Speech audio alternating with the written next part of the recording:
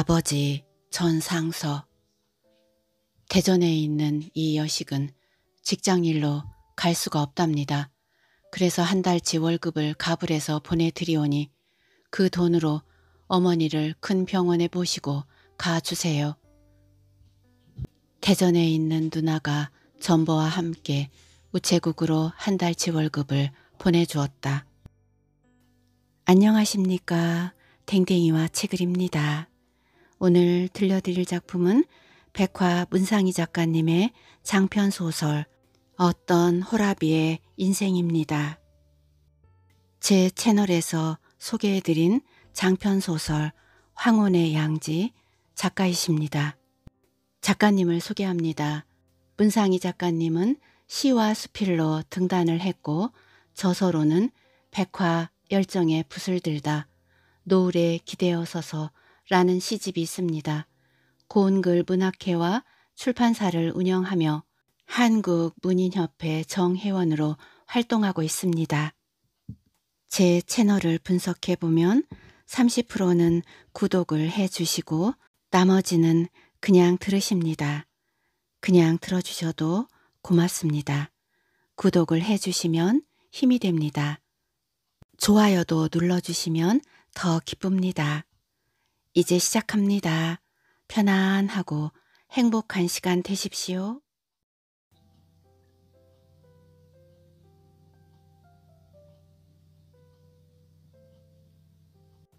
어떤 호라비의 인생 1화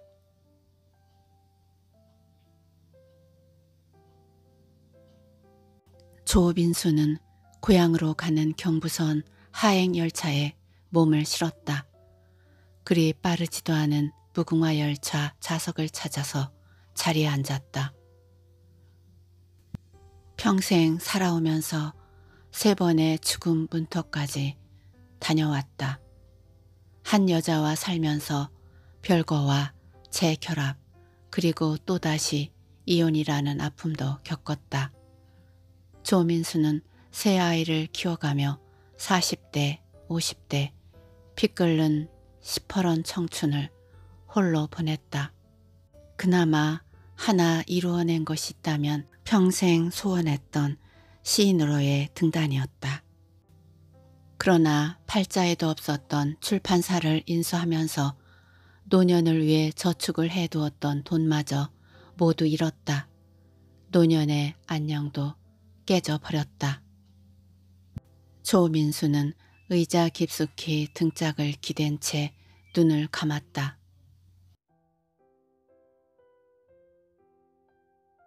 백화산 상상복 933m 아래 500고지 용월이 10가구도 채 안 되는 산간 마을이었다. 1970년 8월 일요일 어느 날이었다. 아랫마을에 사는 국민학교 3학년 민수는 여느 때와 마찬가지로 탑골 증조 할배 집으로 갔다. 안녕하세요 할아버지. 민수는 할아버지께 공손하게 인사했다. 그래 민수 왔구나. 놀다가 점심 먹고 가거라. 예 알겠습니다 할아버지. 재민이 아재는 어디 있나요? 저기 뒷마당에 있나 보다 가서 찾아보거라. 예 알겠습니다 할아버지. 아재야!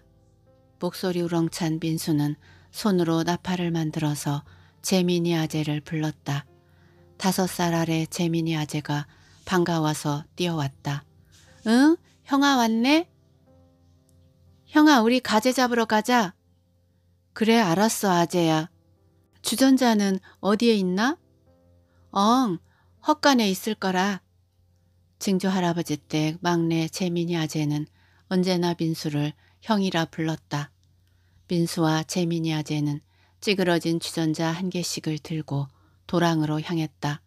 둘이는 형제처럼 손을 잡고 언제나 같은 동요를 불렀다. 무궁화 무궁화 우리나라 꽃 도랑이 가까운 곳에 있어서 노래가 끝나기도 전에 개울에 도착했다. 천혜적인 상간마을이라 오염도 환경 파괴도 없는 그런 곳이었다. 피라미 튀김을 먹고 싶을 땐 족대지를 하면 되었다. 송사을이 피라미를 두 시간이면 한 주전자 가득 잡았고 고소한 메뚜기 볶음을 먹고 싶을 땐 빈 소주병을 들고 한나절이면 한 병 가득 잡았다. 오늘은 재민이 아재가 가재를 잡자고 해서 나왔다. 가재를 둘이서 잡을 땐 같이 있으면 안 된다. 가재는 돌덩이 아래에 숨어 있어서 돌을 들추면 흙탕물이 일어나기 때문이다. 재민이 아재는 여기서 가재를 잡아? 나는 저 아래 가서 잡고 있을 테니까 알았지? 응 알았어 형아. 민수는 12살이었고 재민이 아재는 7살이었다. 그러니까 당연지사 민수가 많이 잡을 수밖에 없었다. 민수는 두어 시간 만에 거의 한 주전자를 잡았다. 그 시점에 재민이 아재가 민수에게 내려왔다. 형아, 가재가 너무 빨리 도망가서 못 잡겠어. 나 조금만 주라. 안 돼요. 나는 어머니에게 갖다 드릴 거야. 올 때 가자 잡으러 간다고 말씀을 드리고 왔어. 그래도 힝. 나 조금만 주라 형아야. 안 된다고 내가 그랬잖아. 형아, 배고프다. 집에 가자. 그래, 나도 이제 갈 거다. 조금만 기다려. 알았지, 아재? 민수는 조금 전에 모래에 홈을 파서 가재를 가둬놓고 주전자를 가지러 갔다. 그런데 주전자의 가재가 절반밖에 없었다. 재민이 아재의 주전자 뚜껑을 열어보니 가재가 가득했다. 재민아, 내가 잡은 가재 네가 훔쳐갔잖아. 힝, 나는 세 마리밖에 못 잡아서 조금 덜어갔어 형아야. 안 돼, 이리 줘. 실랑이를 하다가 주전자가 도랑에 엎질러졌다. 임마, 왜내 가재를 훔쳐가야? 민수는 화가 나서 꿀밤을 몇 대 지어 박았다. 재민이 아재는 할아버지 댁에 도착할 때까지 계속 울기만 했다. 아버지, 형아가 가재 훔쳐갔다고 나를 때렸어. 엥, 엥, 엥. 민수, 내 이놈. 어디 감히 아재비를 때려? 이런 천하의 못된 놈. 네 아비한테 말해서 단단히 교육을 시켜야겠다. 야 이놈아, 뱃속에 할아비도 있는데 감히 아재비를 때려? 재민아. 예 아버지. 너도 똑같다 이놈아. 예전에 내가 가르쳐 줬잖아 이놈아. 민수가 나이가 더 많아도 조카라고 불러야지. 형이라고 부르면 안 된다고 했잖아 이놈아. 이놈들아 내 말 잘 알아들었느냐. 친척 간에도 촌수가 있는 법이다 이놈들아. 네 아비와 나는 사촌간이고 재민이는 나이가 적어도 너의 오춘 당속이다 이놈아. 이 다음부터는 꼭 아재와 조카 이렇게 부르거라. 알았느냐 이놈들아. 예 할아버지 잘 알겠습니다. 집에 돌아온 민수는 어머니와 아버지께 말씀드렸지만 돌아온 것은 무릎 꿇고 또 따끔한 훈계였다. 배고프지 정수야? 그렇게 말씀하시며 늦은 점심을 차려주었다. 민수는 그날 이후로 촌수가 무엇인지 확실하게 알았다.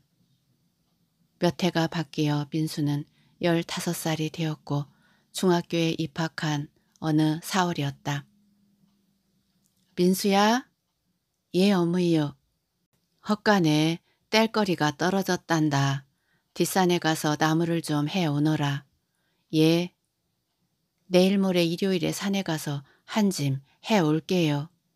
그래 언제든지 산에 가면 뱀 조심하거라. 예 알았어요 어머니. 일요일 민수는 제 키만큼 큰 지게를 지고 나섰다. 지게다리 한쪽엔 점심으로 먹을 삶은 고구마 봉지가 걸음 따라 대롱대롱 춤을 추었다.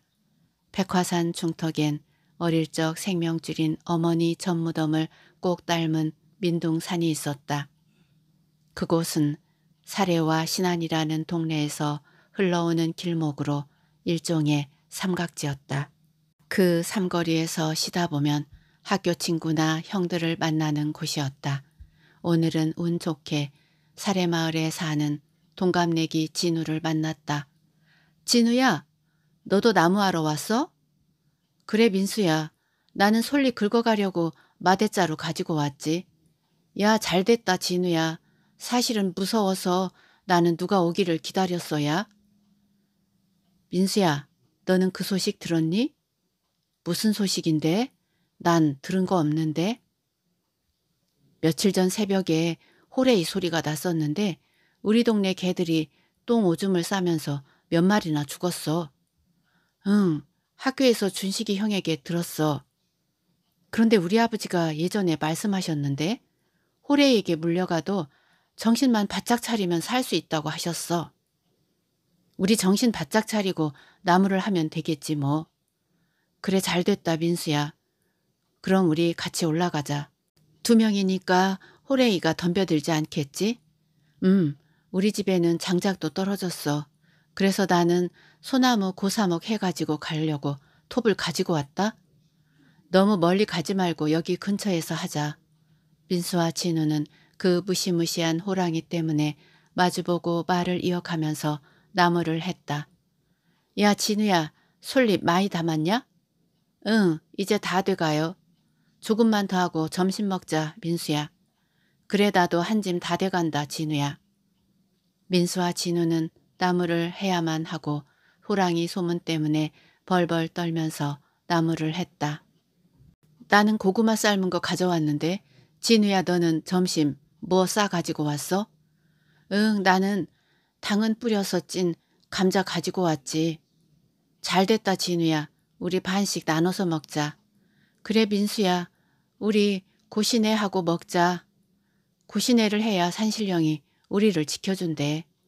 그래 맞아 진우야. 민수와 진우는 점심을 때우고 민둥산 삼거리까지 같이 내려왔다. 민수야 잘 가라. 내일 학교에서 보자. 그래 진우야 너도 잘 가. 민수의 지게엔 말라 죽은 고사목이 한 짐 가득 실려 있었다. 바짝 마른 소나무라서 그렇게 무겁지는 않았다. 어머이요 고사목 한 짐 해왔어요.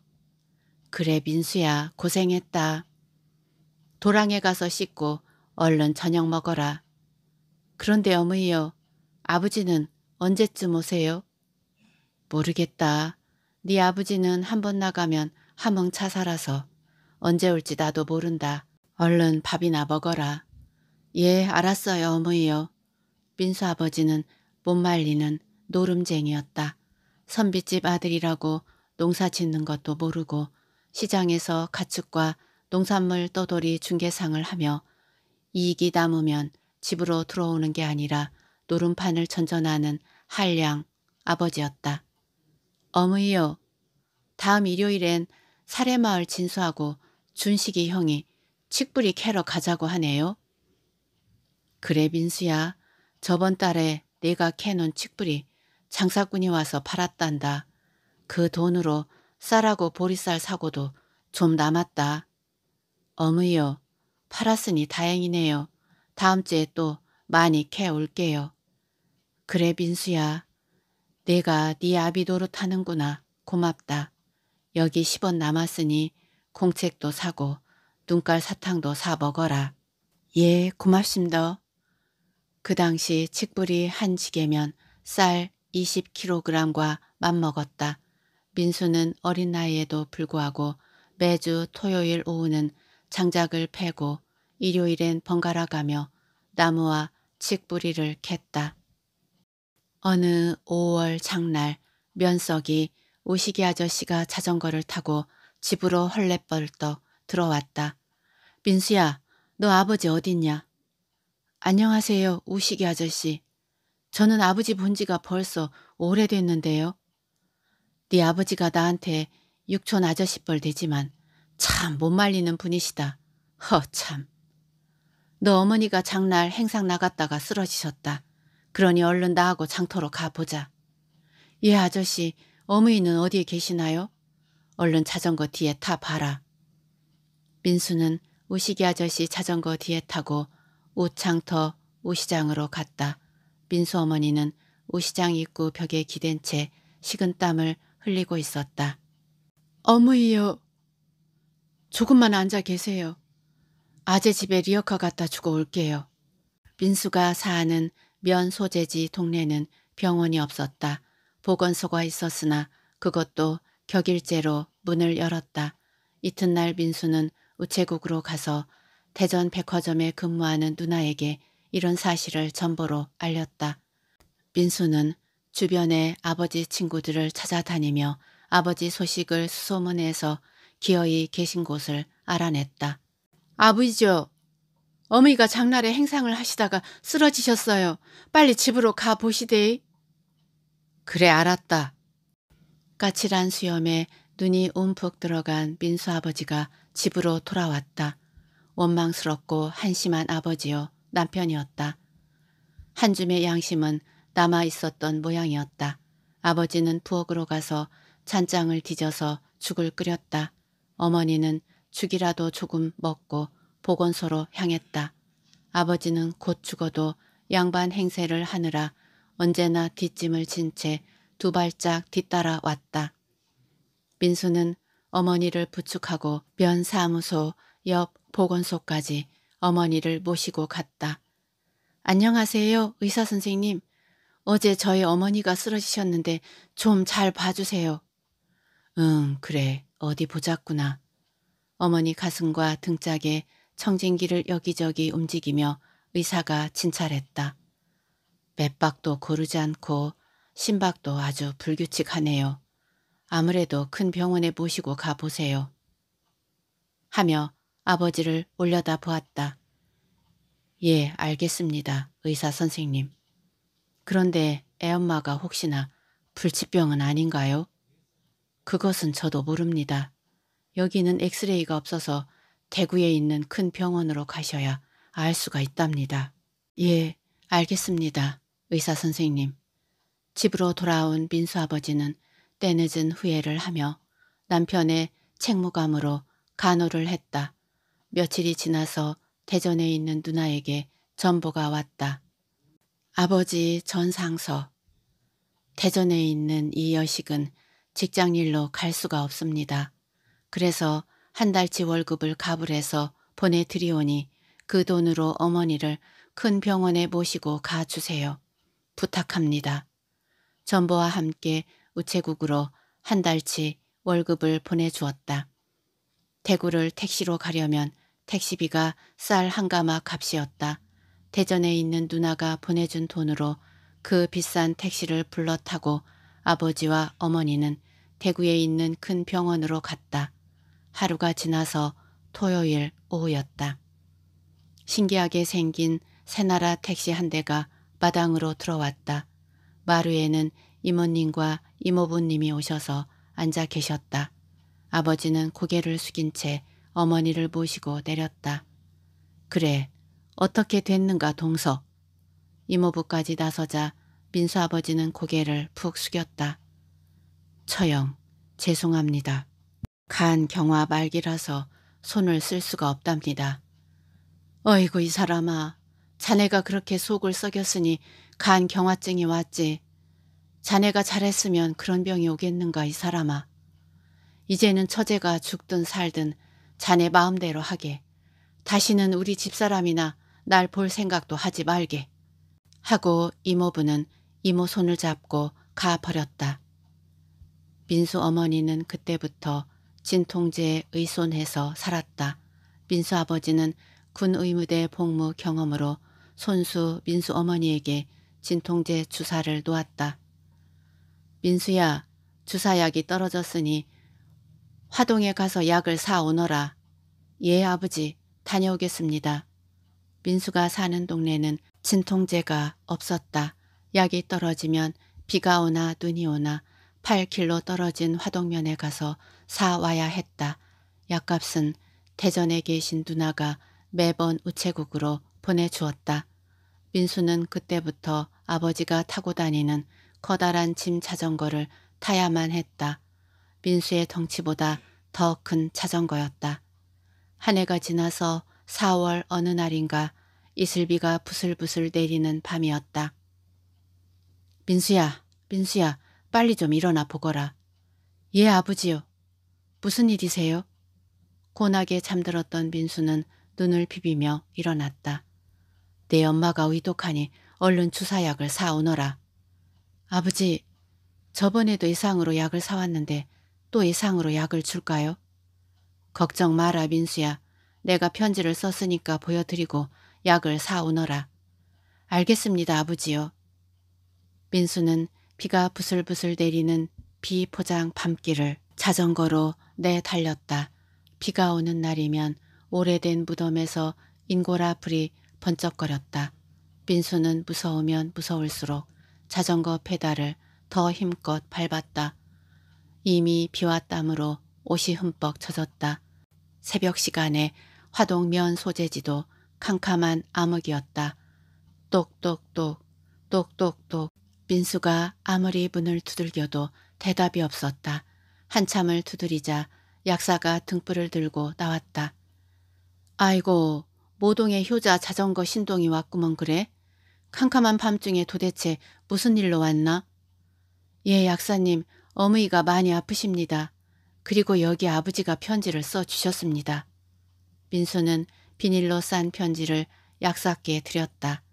그래 자전거 신동 우리 효자가 고생이 많네. 여기 주사약이 있으니 조심해서 가져가거라. 그리고 너 아버지에게 말씀드려서 밀린 약값을 다음번엔 꼭 가지고 와라. 알겠지? 예 알겠습니다. 약사님. 민수는 돌아오는 길도 죽자 사자 페달을 밟았다. 먼동이 틀 무렵에서야 집에 도착했다. 아버지요. 약 사가지고 왔어요. 그래. 고생했다. 민수야. 이제는 그 약도 소용없구나. 네 엄마가 저 세상으로 갔다. 때늦은 아버지의 비통한 울음소리가 빗속을 뚫었다. 어머니는 춘삼월 봄비 내리는 어느 날 아침 마흔넷 꽃다운 나이에 저 세상으로 소천하셨다. 민수의 나이 그때 16세 중학교 2학년이었다. 막내 동생은 4살이었다. 민수는 의로 누나 한 명, 여동생이 셋이었다. 아버지요, 이제 우리는 어떻게 살아가야 합니까, 아버지? 걱정 마라, 민수야. 산 사람 입에 설마 거미줄 치겠냐. 내가 장터에서 토끼를 열 마리 사왔다.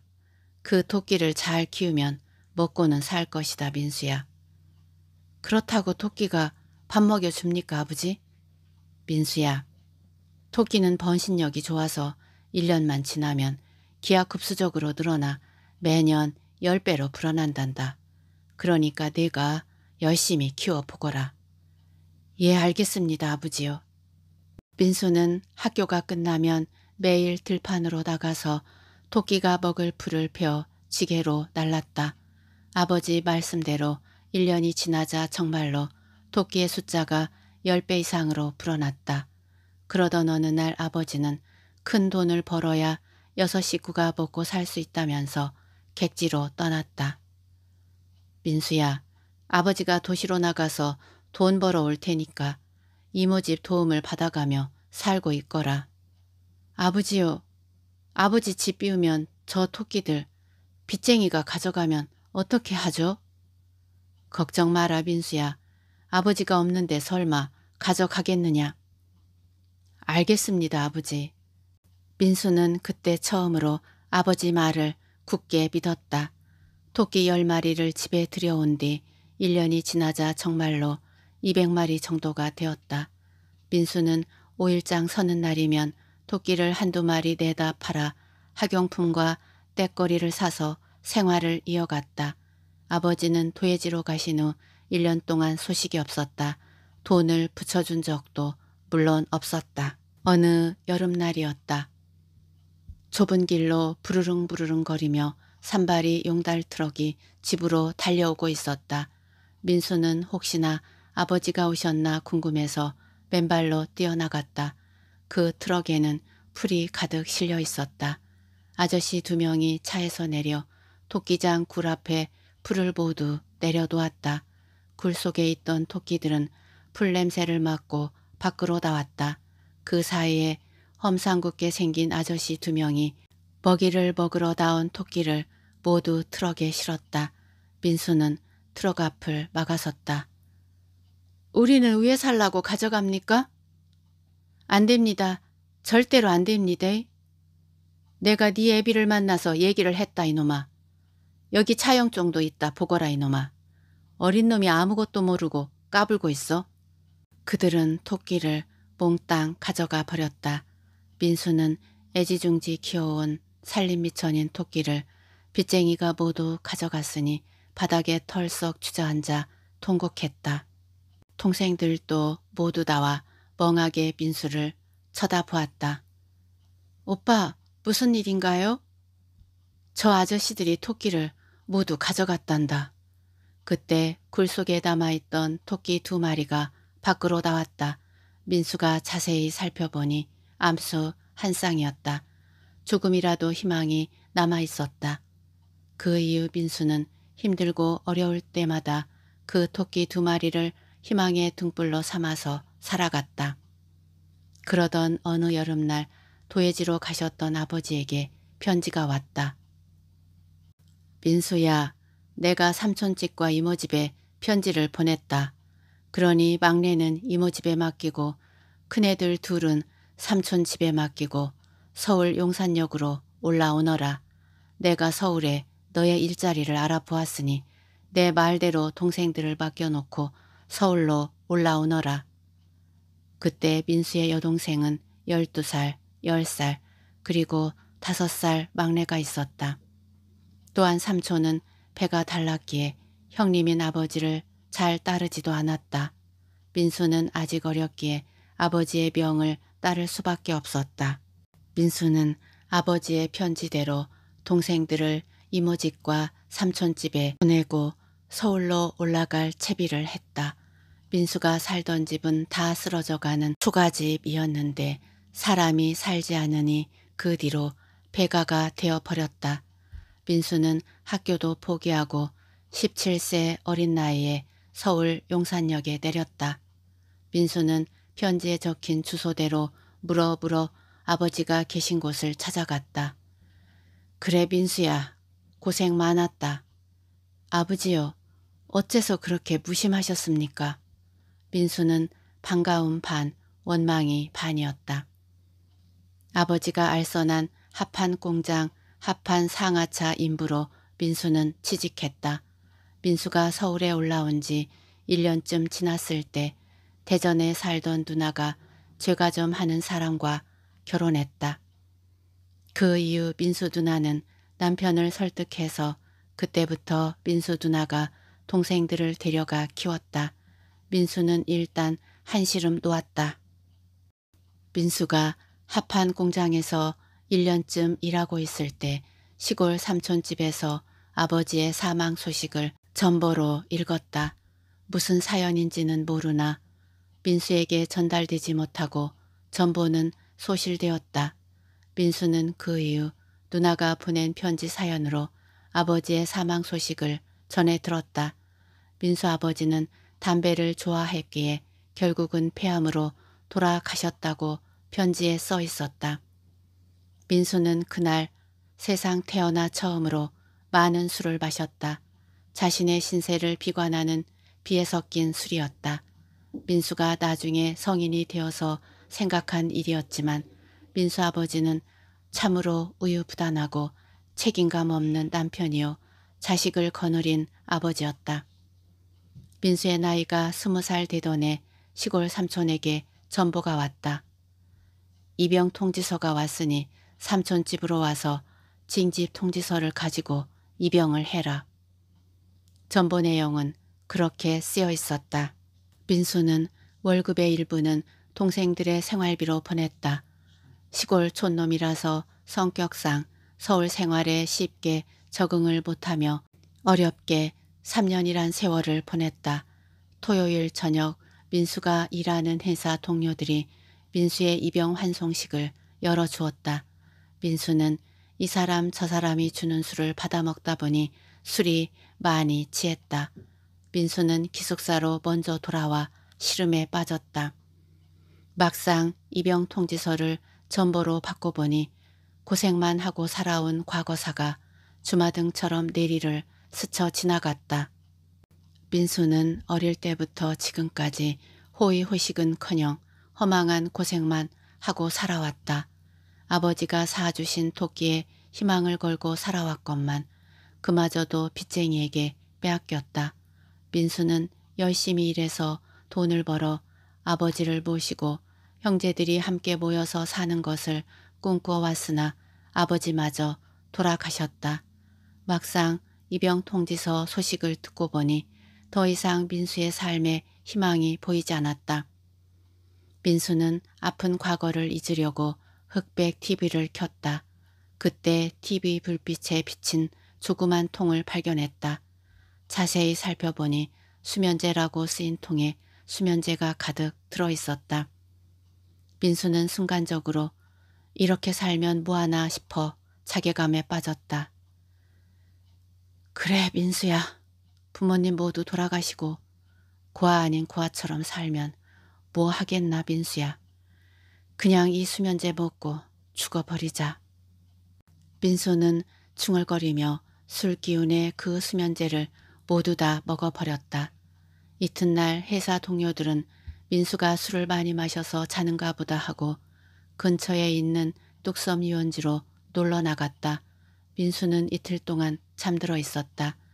뒷날 출근 시간에 민수를 깨웠으나 그때는 이미 민수는 혼수 상태였다. 민수는 승용차 뒷좌석에 실려서 근처에 있는 한양대 병원 응급실로 실려갔다. 의세척 응급처치 시술로 3일 만에 깨어났다. 민수의 병줄은 하늘이 지고 있었나 보았다. 더 부려먹을 이유가 있었는지 다시 민수를 살려주었다. 어쩌면 그 이유가 30년간 부모님 제사를 모시게 하였고 아버지가 저지른 업보를 물려받아 자식 3명을 부양케 하는 하늘의 명이었는지도 모른다. 민수는 군 복무를 마치고 고향에 들렀지만 단 한 평의 땅도 머물 곳도 없었다. 민수는 고향 땅에서 할 수 있는 것이 아무것도 없었다. 고향에서 이리저리 일자리를 알아보았으나 그 또한 마땅한 곳이 없었다. 민수는 동대문 근처에 있는 누나와 자영에게 저녁 인사를 하려고 들렸다. 자영, 누님, 덕분에 민수는 군복무 잘 마치고 돌아왔습니다. 충성. 그래, 군복무 하느라 고생했네.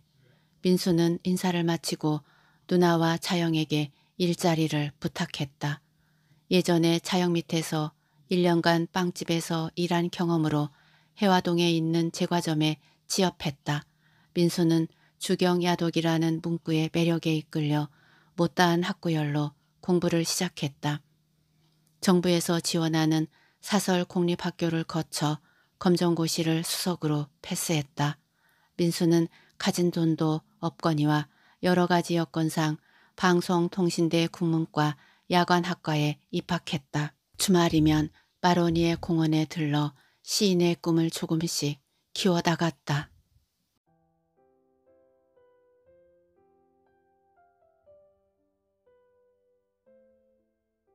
라일락 향기가 흩날리는 어느 5월이었다. 민수는 과 동기들 두 명과 마로니의 공원에서 만났다. 방통대 과 친구들은 거의가 직업을 가진 학생들이었기에 대체적으로 나이가 많았다. 민수는 25살이었고 연극 배우를 지망하는 병철이는 26살, 야간업소 밴드 출신인 정태는 24살이었다. 셋은 과 동기들이기에 친구처럼 지냈다. 대학로 거리에는 연극 포스터와 각 대학교 축제를 알리는 각종 플랜카드가 걸려 있었다. 내일 낮에 청춘여대 축제가 열리거든. 내 여자친구가 교내 밴드 동아리에 있어. 시간 내서 한번 가볼까? 정태가 자랑을 늘어놓으며 말했다. 그래, 여대니까 전부 여자들 뿐일 테니 한번 가보자. 이어서 병철이가 말했고 민수는 고개를 끄덕여 동참을 표했다. 이튿날 세 명은 학교 앞에서 만나 대학교로 들어갔다. 학교에 들어서자 밴드 음악 소리가 귀를 때렸다. 셋은 노점에서 캔 맥주를 사서 마셨다. 그때 마침 학교 베이킨을 뽑는 행사가 있었고 세 명은 넋을 놓고 바라보았다. 마침내 진선미 선발이 끝나고 메이킨을 뽑는 차례가 되었다. 1984년 청춘여자대학교 메이킨은 2학년 유아교육과 지윤이 님이 선정되었습니다. 뜨거운 박수로 축하 부탁드립니다. 라는 진행자 멘트가 마이크를 타고 흘렀다. 야, 정말로 이쁘다, 야. 딱 내 스타일인데 한번 꼬셔볼까? 민수가 말했다. 어? 2학년 유아교육과면 내 여자친구하고 같은 과 학생인데 잘 됐다 민수야. 정태가 신바람이 나서 우쭐대며 말했다. 그래? 그거 잘 됐다. 만나게만 해주면 내가 꼬셔볼게. 민수야, 그런 말도 안 되는 얘기 하지도 마라. 저렇게 이쁜 메이킨이 어째서 너 같은 촌딱을 좋아하겠냐. 내가 진짜로 저 학생을 꼬드기면 내가 그날 술값, 밥값 다 내줄게. 그 대신 내가 실패하면 그날은 내가 모두 계산해라. 알았지? 하고 병철이가 말했다. 여하튼 여자친구 주희 씨를 만나서 내가 주선을 해볼게. 좋지, 좋아. 딱 내 스타일이니까 내가 무조건 꼬신다. 알았지? 민수는 무슨 심보인지는 몰라도 자신 있게 말했다. 청춘여대 메이킨 지윤이가 마로니의 공원으로 왔다. 민수는 그날 밤 농담조로 한 말인데 다소 황당한 태도를 보였다. 주희 씨 약속대로 와줘서 고마워. 정태는 여자친구를 반기면서 말했다. 아이 오빠 내가 데리고 온다고 약속했잖아. 안녕하세요 지인이 씨 반갑습니다. 이런 절세 미인을 뵙게 되어 정말로 영광입니다. 일단 민수는 그렇게 먼저 인사를 했다. 네 반갑습니다. 지은이입니다. 그러자 바로 병철이가 전곡을 찔러버렸다. 안녕하세요. 저는 정태 과동기 유병철입니다. 청춘여대 축제에서 지은이 씨를 봤답니다. 먼저 메이킨으로 뽑힌 것을 축하드립니다. 그런데 여기 민수라는 놈이 윤희 씨를 꼬셔서 애인으로 만들겠다고 장담을 했답니다. 그러자 지윤이는 민수를 바라보며 말했다. 민수 씨는 전공이 뭐죠? 네, 저는 국문과에 다니고 있답니다. 오, 그러시군요. 저도 사실은 국문과를 가려고 했는데요. 엄마가 유아교육과를 다니면 결혼해서 아이들 키우기 좋다고 하셔서 유아교육과를 갔답니다. 뭐 그것도 좋은 생각이었네요. 민수가 그렇게 대답하자 지윤이가 말을 이어갔다. 저도 시나 수필 쓰는 것을 좋아한답니다. 혹시 써놓은 시가 있으면 한번 낭송해 주실래요? 윤희 씨 부끄럽습니다. 에이 그래도 국문과에 다니면서 즉흥시라도 한번 해 주셔야 국문과 학생으로 믿죠. 그러면 윤희 씨 이름으로 울겨 삼행시를 즉흥적으로 한번 읊어보겠습니다. 우두커니 하늘을 바라보던 민수가 입을 떼었다. 지, 지그시 눈을 감고 그대를 떠올리면 윤, 윤술이 반짝이듯 미소가 번져오니 희, 희망을 품어안고 그대와 함께 하리. 와! 즉흥적으로 쓴 지극히 현실적인 시군요. 저의 남자친구 될 자격이 충분합니다. 사실 저는 지금까지 남자친구가 없었어요. 무슨 일인지 몰라도 이상하게 남학생들이 저를 피해서 다녔죠. 그런데 저에게 대시하는 사람은 민수 씨가 처음이었어요. 정말 인연이 되려고 그랬나 봅니다. 호호호. 아닌 것 같은데요. 유니 씨가 너무 이쁘니까 다들 엄두를 못 내고 피하겠죠. 병철이가 부러운 듯이 민수를 쳐다보며 말했다. 민수는 미인 친구가 되었다는 것에 기분이 한껏 고조되었다. 아 사실은 제가 유니 씨를 꼬드겨서 여자친구로 만들면 병철이가 오늘 술값, 밥값 쏜다고 했습니다. 아 그러시군요. 그럼 오늘 스테이크 칼질에 가며 생맥주를 마셔도 되겠군요. 세상 일은 알 수가 없다 하더니 민수 같은 촌놈이 미인을 여자친구로 두었으니 부러워 죽겠습니다. 병철이는 두 손을 비벼가며 부러운 신용을 하며 말을 이어갔다. 사실 제 친구가 찍고 있는 영화에서 갑자기 배우 한 명이 빠지게 되었는데 내가 그 캐릭터를 닮았다고 해서 갑자기 캐스팅이 되었답니다. 주연도 아니고 조연도 아니고요. 주연 친구로 대여섯 번 출연하는 단역 배우인데 그래도 출연료를 조금 받아서 밥 한 번 살려고 했답니다. 병철이는 자랑질을 했다. 오 그러시군요. 이따가 밥 먹으면서 제목과 상영 날짜를 좀 알려주시면 꼭 보도록 할게요. 다섯 명은 대학로에 있는 그릴 맥주집으로 들어갔다. 그 이후로 민수와 윤희는 매주 토요일에 대학로에서 만나 초고속 연애를 시작했다. 민수와 윤희가 나란히 3학년에 올라간 어느 봄날이었다. 민수 씨, 나 큰일 났어. 응? 무슨 큰일이 났을까? 나 임신한 것 같아. 석 달째 그게 없어. 그래? 그러면 어떻게 하면 좋을까? 산부인과 병원에 가봐야 할 것 같아. 우리가 결혼도 안 했는데 애를 놓을 순 없잖아. 일단 임신이면 수술하고 우리 결혼하면 그때 가서 낳아도 되잖아. 하지만 어떻게 수술을, 생명을. 민수 씨 지금 말이라고 하는 거야? 그럼 난 어떻게 하라고? 나보고 낳으라고? 결혼하자고? 우리가 그런 능력이 돼? 알았어. 그럼 윤희 생각대로 그렇게 하지 뭐. 민수와 윤희는 병원으로 가서 낙태 수술을 받았다. 그 이후 윤희는 충격을 받아서였는지 한 달간 소식이 없었다.